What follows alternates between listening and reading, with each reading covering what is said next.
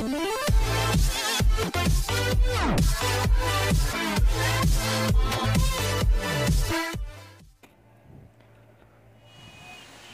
guys. Di video kali ini kita akan eh, memberikan tutorial pemasangan LCD controller board eh, pada panel LCD bekas laptop 14,1 inch Jangan lupa untuk subscribe dan tekan tombol lonceng agar update video-video kita selanjutnya. Nah ini adalah panel LCD yang akan kita pakai. Ini bisa dilihat ini bentuk soket panelnya 30 pin. Dan ini adalah soket lampu backlight.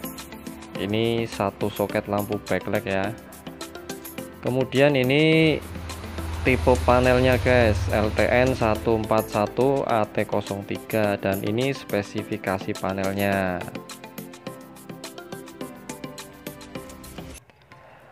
Oke langsung saja. Ini adalah penampakan dari kelengkapan LCD controller board paket lengkap ya.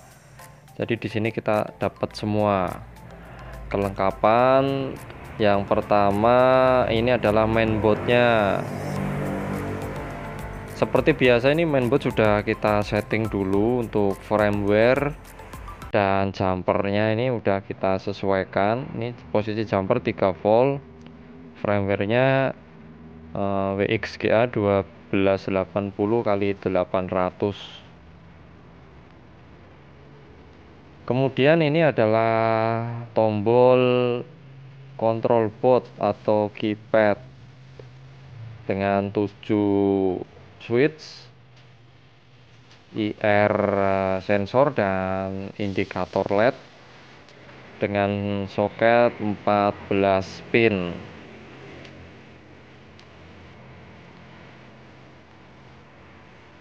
Yang selanjutnya adalah remote control. Ini remote controlnya ini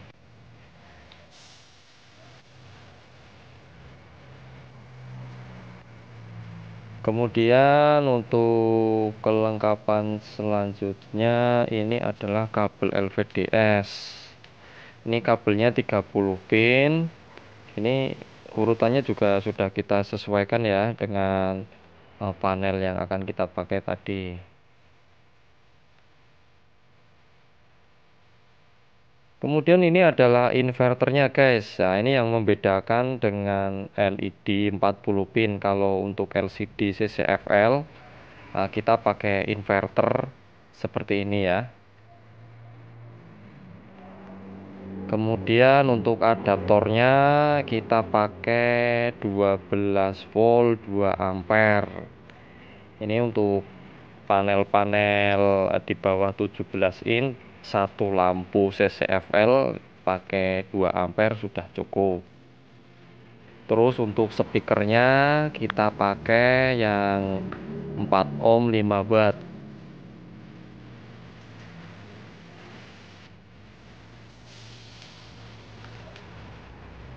Oke langsung saja ini untuk e, perakitannya. Yang pertama kita pasang dulu e,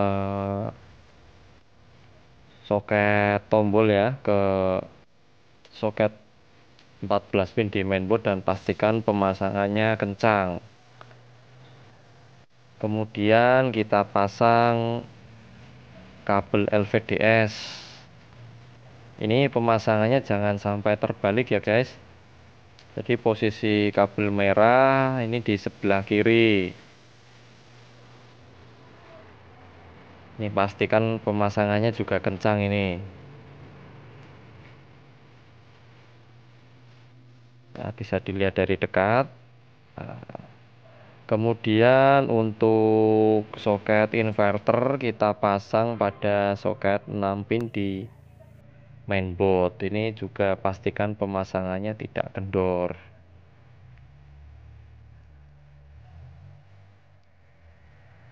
Ya Oke, kemudian kita pasang ini guys, uh, speakernya. Ini konektor speaker. Ini soketnya di atas port USB ini jangan sampai salah colok yang di soket DC ya. Soalnya ini uh, soketnya sama 4 pin jadi untuk speaker posisi soketnya di atas port USB Oke langsung kita pasang untuk konektor LVDS ke panel. Ini pastikan pemasangannya tidak terbalik ya untuk 14 in uh, tipe ini posisi VCC nya di sebelah kanan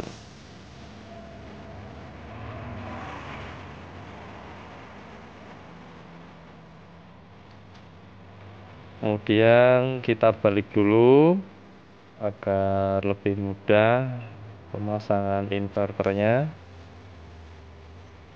Nah ini untuk soket inverter kita pasang ke soket lampu. Pastikan pemasangannya kencang ya. Ini jangan terbalik juga. Kalau terbalik nggak masuk dia soketnya. Nah, soalnya ini dia uh, tegangan tinggi guys. Jadi pastikan pemasangannya harus kencang ya. Kita rapikan dulu.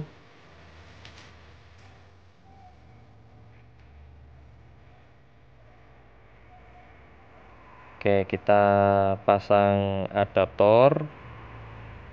Adaptornya kita colokkan dulu. Indikator adaptor sudah nyala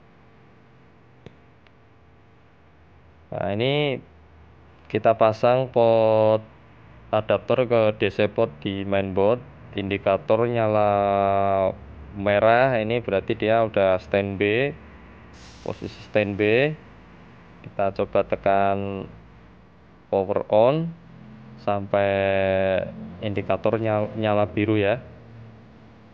Ini adalah tampilan startup dan tampilan input media ya.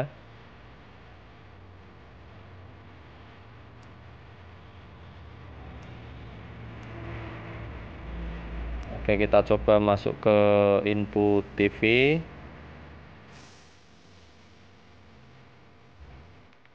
kita pasang dulu antenanya.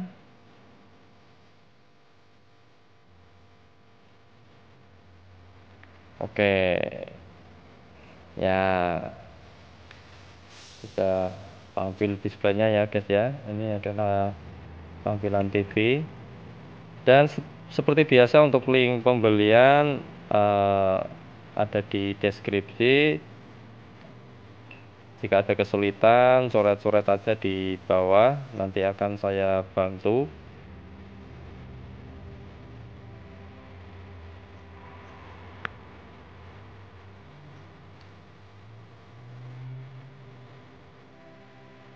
Oke, demikianlah uh, tutorial singkat dari saya. Uh, semoga bermanfaat ya guys ya. Jangan lupa untuk subscribe dan dukung uh, channel kita agar terus uh,